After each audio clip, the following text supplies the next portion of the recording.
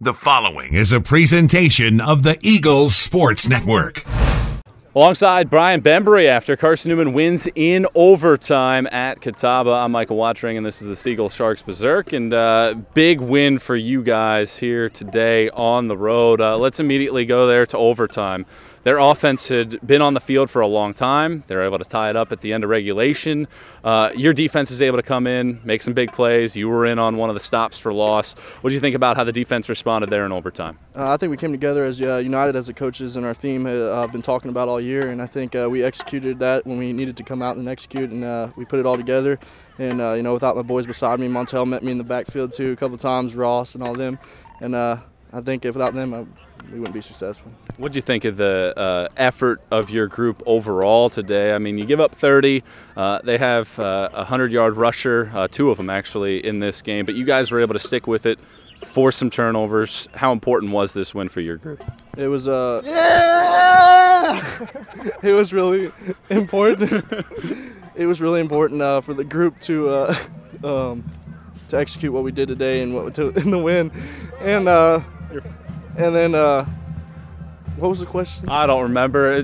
Ross Pryor coming in here, dumping water on us. Uh, let's take us through the mindset of your group. They're able to get uh, a score in, I believe it was the third quarter, off of a penalty from Antonio Henderson. Then in the fourth quarter, uh, a penalty extends their drive once again. Uh, Tamoris Coates has a chance for an interception, doesn't do it. Uh, they kick a field goal. What's the mentality like entering overtime? Oh man, it was uh, knowing that we should have came out of it not going into overtime and uh, not coming out as hard as we know we could have played and we should have played. I mean, it was it was a little bit of setback of mood, but I mean, we came out there and uh, I think the team rallied together like we should have, and that's what caused us to execute what we need to do. How important was it today to have a game like this where there might have been some missed opportunities where you've had the last couple weeks, but you're able to come away with a win on the road to kind of end this stretch where you start the year with four or five on the road?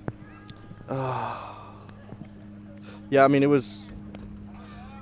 It goes back to all the what we didn't practice all week. You know, working every day against this and uh, and on the road, being on the road this seven games out of eleven is.